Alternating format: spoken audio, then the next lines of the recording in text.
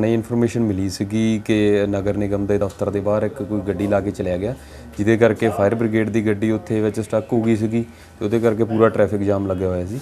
ਤਾਂ ਮੌਕੇ ਤੇ ਪਹੁੰਚ ਕੇ ਅਸੀਂ ਪਤਾ ਕੀਤਾ ਤਾਂ ਆ ਗਿਆ ਸੀਗਾ, ਜਿਹੜਾ ਓਨਰ ਸੀਗਾ ਆ ਗਿਆ, ਵੈਸੇ ਕਹਿੰਦੇ ਕਾਫੀ ਟਾਈਮ ਹੋ ਗਿਆ ਸੀ ਵੇਟ ਕਰਦਿਆਂ ਨੂੰ ਤੇ ਬਕਾਇਦਾ ਉਹ ਗੱਡੀ ਸਾਈਡ ਤੇ ਹਟਵਾਈ ਗਈ, ਪਹਿਲਾਂ ਟ੍ਰੈਫਿਕ ਦਾ ਫਲੋ ਚਲਵਾਇਆ ਤੇ ਫਿਰ ਉਹਦਾ ਚਲਾਨ ਕੀਤਾ ਗਿਆ। ਨੋ ਪਾਰਕਿੰਗ ਦਾ ਕੀਤਾ ਗਿਆ ਤੇ ਬਾਕੀ ਕਾਗਜ਼ ਪੱਤਰ ਹੈ ਨਹੀਂ ਸੀਗੇ, ਉਹ ਕਾਗਜ਼ ਉਹਦਾ ਚਲਾਨ ਵੀ ਕੀਤਾ ਗਿਆ।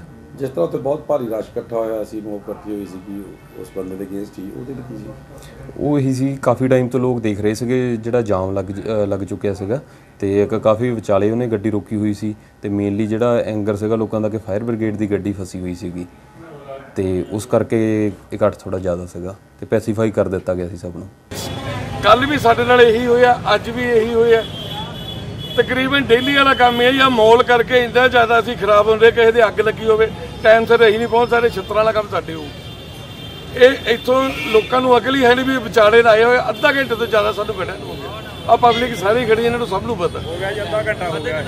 ਠੀਕ ਹੈ ਜੀ ਕੱਲ ਵੀ ਅਸੀਂ ਅੱਧਾ ਘੰਟਾ ਰਿਹਾ ਤੇ ਅੱਗੋਂ ਗੱਲ ਨੂੰ ਆਉਣਗੇ ਸਾਡੇ ਜਦੋਂ ਆ ਗੱਡੀ ਗਲਾ ਗਿਆ। ਤੁਸੀਂ ਇੱਥੇ ਦੇਖੋਗੇ ਸਾਡੇ ਗਲ ਪੈਣਗੇ ਤੇ ਕਿੰਨੀ ਦੇਰ ਤੋਂ ਤੁਸੀਂ ਪਾਣੀ ਲੈਣ ਆਏ ਹੋ ਜਦੋਂ ਨਹੀਂ ਲੈ ਕੇ ਜਾ ਸਕੇ? ਅੱਧਾ ਘੰਟਾ ਹੋ ਗਿਆ ਸਰ ਪੂਰਾ ਖੜੇ ਨੂੰ ਸਾਨੂੰ। ਤੁਸੀਂ ਇਹਦੇ ਬਾਰੇ ਕੋਈ ਪੁਲਿਸ ਅਧਿਕਾਰੀ ਨੂੰ ਦੱਸਿਆ ਜੀ?